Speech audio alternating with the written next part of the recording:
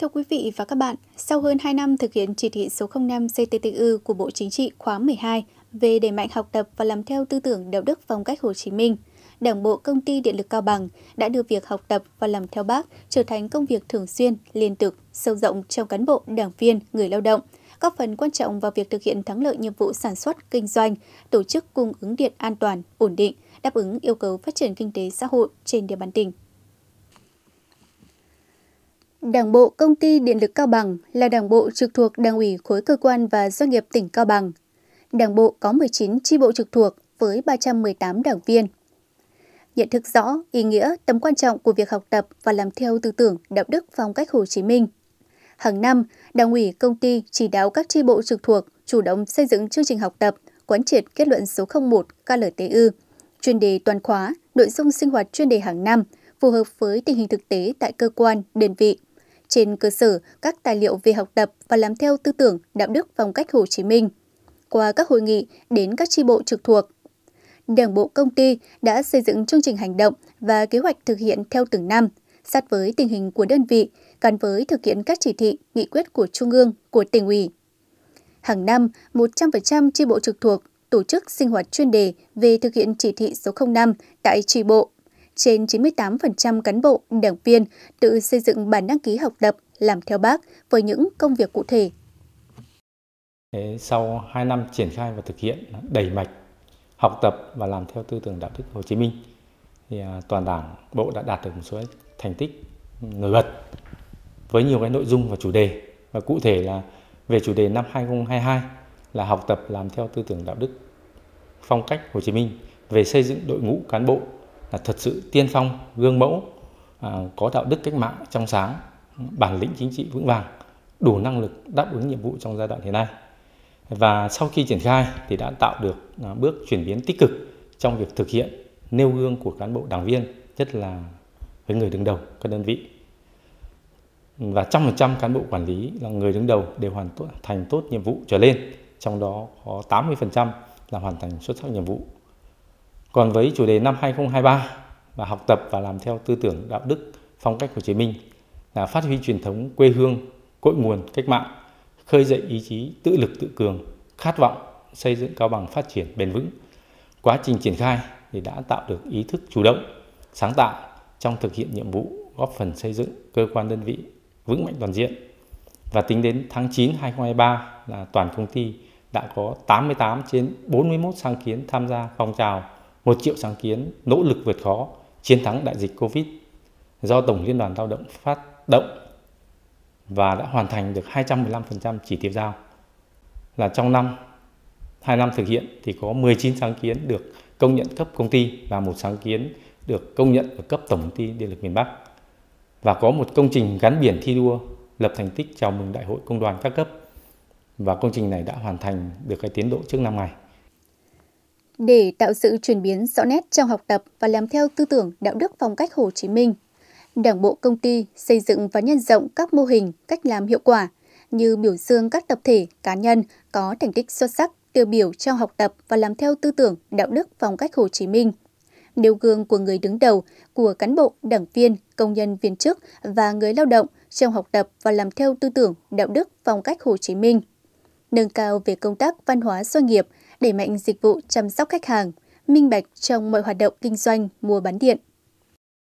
Trong đó, công tác chuyển đổi số chính là điểm nhấn trong thực hiện chỉ thị số 05 của Đảng bộ Công ty Điện lực Cao Bằng.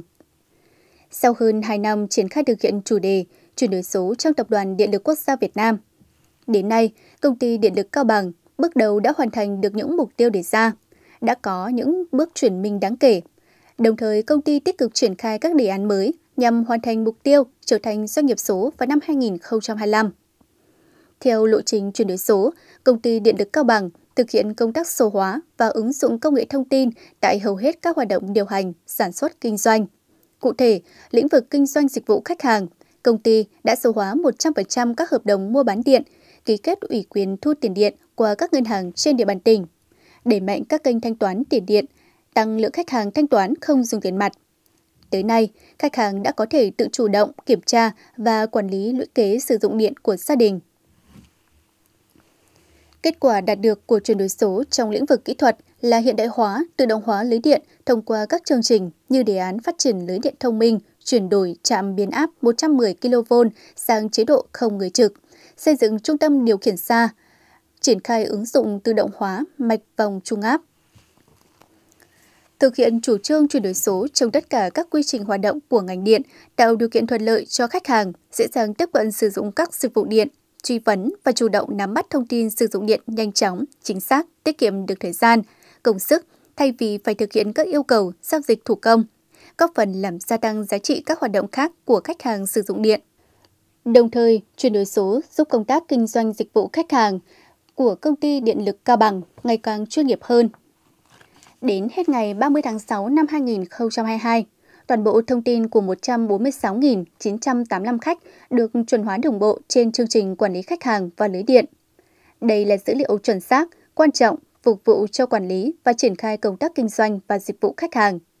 Các yêu cầu về cung cấp dịch vụ điện mới, các dịch vụ phát sinh trong quá trình thực hiện hợp đồng mua bán điện đều được thực hiện bằng 100% hình thức điện tử. Nhờ chuẩn hóa thông tin khách hàng, phối hợp với các đối tác thu hộ qua các kênh thanh toán, tỷ lệ khách hàng thanh toán không dùng tiền mặt đạt 69,1%. Tiền điện thanh toán không dùng tiền mặt đạt 92,8%. Khách hàng thanh toán các dịch vụ có phí bằng hình thức điện tử đạt 100%.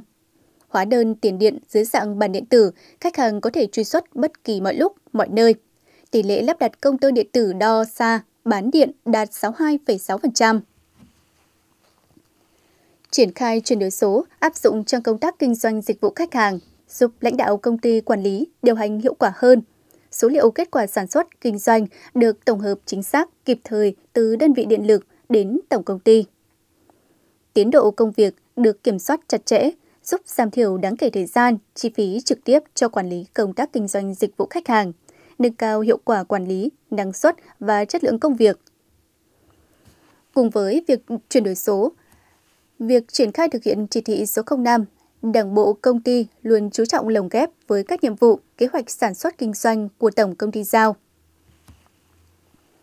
Trong 9 tháng năm 2023, sản lượng điện thương phẩm đạt 426,45 triệu kWh, bằng 76,56% kế hoạch năm, bằng 99% so với cùng kỳ năm 2022. Nộp ngân sách địa phương hơn 17 tỷ đồng, thực hiện công tác an sinh xã hội, từ thiện hơn 323 triệu đồng. 9 tháng đầu năm, thực hiện cấp điện mới cho 376 hộ. Công ty triển khai đồng bộ nhiều hình thức tuyên truyền sử dụng điện an toàn, tiết kiệm, hiệu quả. Thời gian tới, Đảng ủy công ty sẽ tiếp tục cụ thể hóa việc thực hiện chỉ thị số 05 gắn với phong trào thi đua lao động giỏi, lao động sáng tạo trong công ty và các đơn vị trực thuộc, vận dụng một cách sáng tạo phong cách làm việc và tư tưởng đạo đức của bác vào điều kiện sản xuất kinh doanh của đơn vị đặc biệt chú trọng thực hiện trách nhiệm nêu gương của cán bộ, đảng viên, nhất là cán bộ chủ chốt, nâng cao hơn nữa nhận thức của các cấp ủy đảng, chuyên môn, các đoàn thể, cán bộ, đảng viên, công nhân viên chức lao động đối với việc học tập và làm theo tấm gương đạo đức Hồ Chí Minh theo chuyên đề từng năm. Lấy chất lượng, hiệu quả công việc làm thước đo việc học tập và làm theo tấm gương đạo đức Hồ Chí Minh. Tiếp tục phát động và tổ chức nhiều hoạt động an sinh xã hội có ý nghĩa thiết thực. Để phát huy kết quả đã đạt được, thì trong thời gian tới, đảng bộ xác định tiếp tục đẩy mạnh cái phong trào làm theo tư tưởng đạo đức, phong cách Hồ Chí Minh. Đấy cũng là một nhiệm vụ trọng tâm.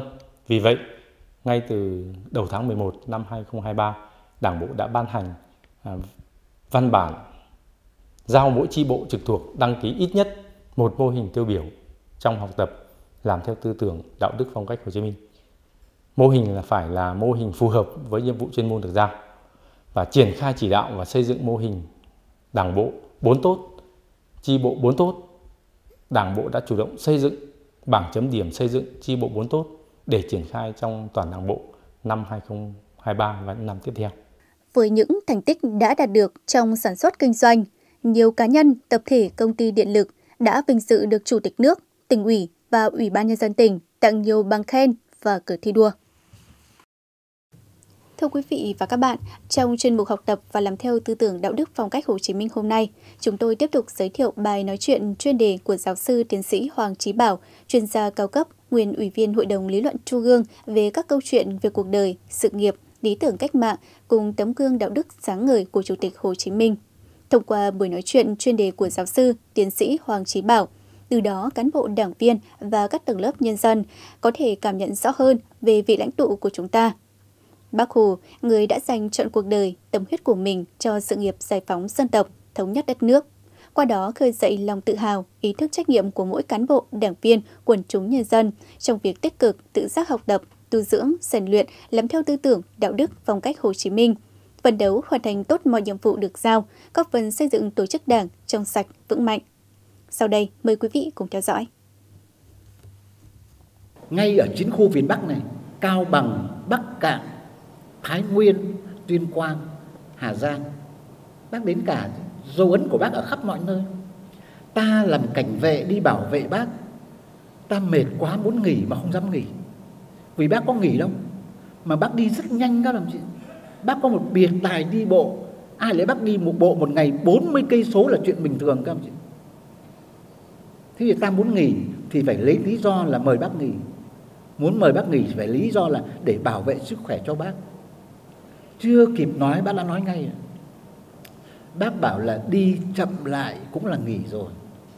Chứ nghỉ hẳn thì ngại lắm, không muốn đi nữa đâu. Cho nên thôi các chú cố lên. Ở rừng chớ có ăn no, chớ ngủ trưa nó mệt lắm, ra suối tắm, tập thể thao. Thế thôi. Và bác đi chậm lại cũng là nghỉ rồi cho nên là đi với bác. Cái ngày bác đi chiến dịch ấy, mang con ngựa cho bác cưỡi bác có cưỡi đâu. Bác bảo dùng để thồ ba lô hành lý cho cả lên đây chất lên lưng ngựa. Ta đi bộ vừa đi vừa kể chuyện và vừa thể thao rèn luyện. Và bác nói hết. Còn khi nào mệt thì thay nhau mà cưỡi. Bác cũng thế thôi. Không có quan cách không có đặc quyền đặc lợi gì cả. Mà trong cuộc đời bác đấy đặc quyền đặc lợi hóa ra chỉ có mỗi một bát nước cơm. Khổ thế đấy con. Nấu cơm cho bác, chắt nước ra coi đấy là riêng cho bác. Anh lộc, hoàng văn lộc, nấu cơm của bác mà chẳng may chết sớm, sốt rét mà. thế là ngày sinh nhật bác mang một bó hoa rừng tặng bác bác khóc. Bác bảo bây giờ bác với cháu, với các chú ra viếng mộ chú lộc, đặt bó hoa rừng của bác lên mộ chú lộc cái người mà chắc bắt nước cơm cho bác đấy. Thế là đi chậm lại là nghỉ rồi, nhưng chứ không nghỉ. Hai là ăn khốn kham khổ. Có cái ăn là quý, có khi còn nhịn đói đó toàn cháu bẹ rau măng vẫn sẵn sàng thôi mà. Thế thì là chúng ta cứ ái ngại vì không có gì cho bác ăn. Bác động viên ngay, có gì đâu. Làm cách mạng thì phải chịu khổ. Có khó khăn mới cần cách mạng. Chứ không có khó khăn thì cần gì phải làm cách mạng thôi cố lên. Bây giờ các chú vào trong bản, trong làng, xin đồng bào một ít lá chè lá chè xanh các ông chí về đun lên làm nước trà mà uống. Và chan vào cơm cho muối và là xong thôi. Một lãnh tụ và sống như thế, làm sao ta có thể bác sống lâu hơn được? Bác thọ được như vậy là cả một cuộc trèo chống vĩ đại đấy chứ. Vượt qua cả sức khỏe, cả bệnh tật, cả nỗi đau lớn của đời nữa chứ các đồng chí chắc nhiều lần về Bắc Bó rồi. Vào hang Bắc Bó cốc bó suối khuổi nậm rồi. Các đồng chí có để ý cái cây ổi không? Ở ngay cửa hang ấy. lá chè để bác uống nước hàng ngày đun bằng úp ổi này, này. Cái bàn đá để làm việc đấy. Sáng ra bờ suối tối vào hang. Cháo bẹ rau măng vẫn sẵn sàng. Bàn đá trông tranh dịch sử đảng cuộc đời cách mạng thực là sang. Dịch sử đảng ở đây là dịch sử đảng đảng cộng sản liên xô. Bác dịch từ tiếng nga sang. Cái bộ sử này chúng ta học ở liên xô, ta đều biết là một bộ sách vĩ đại 800 trang. Mà bác dịch tóm tắt làm tài liệu huấn luyện cán bộ. Bác còn dịch cả tuyên ngôn đảng cộng sản đấy nhé. Ra tiếng việt cho chúng ta học nữa để nói thêm cái khả năng học vấn và ngoại ngữ của bác như vậy